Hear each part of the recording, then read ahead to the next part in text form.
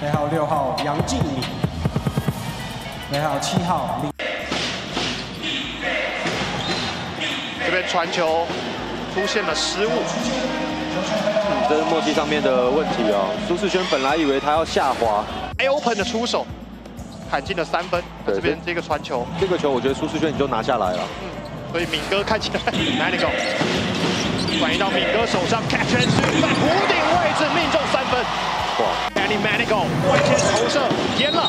杨金敏进攻篮板争抢过程当中挡住了林书豪，轮到国王队做转换，踩欧洲步是杨敬敏，杨敬敏非常的振奋，火锅，杨敬敏要到犯规，一个 highlight 时刻，对他可能看前面林书豪切都上的很轻松啊，转换攻击之后，百优杨金敏要站上罚球线，没有吞下过三连败。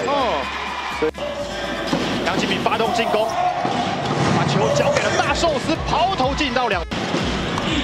这个框真的有点问题。杨敬敏惩罚对手退防不及。导播非常懂得镜头语言的，这种蒙太奇。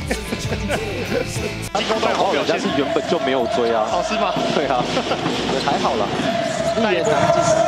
敏哥在底线，差一点就三秒了。杨金敏很快的打回两分，这样对。身体对抗要到哨音，这一次出手是不算的。刚刚应该是想要打一个二加一了，但是确实投了有一些急躁。来看一下敏哥，第三节要接管比赛吗？撤到三分线外，地板给球，收球，戴维斯要到哨音，分线外两投零中。杨金敏收球，要到了裁判的哨音，因为温德在。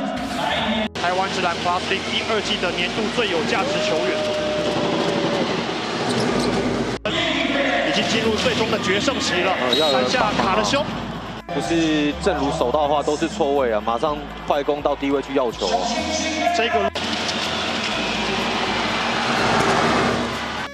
没有办法突破联盟最高得分的记录。